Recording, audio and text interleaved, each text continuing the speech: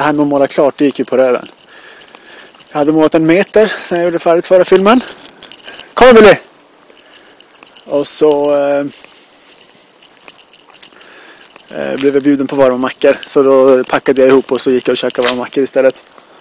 Och sen så... Eh, nu är klockan 10 över 12. Nu är jag på väg hem.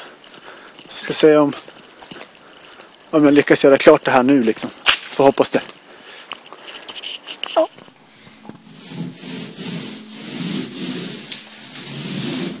Så, äntligen. Det var det sista. Får vi hoppas att, eh, att det där räcker. Att vi inte behöver måla ett till lager imorgon. Men eh, det visar sig när färgen har torkat och solen har gått upp imorgon.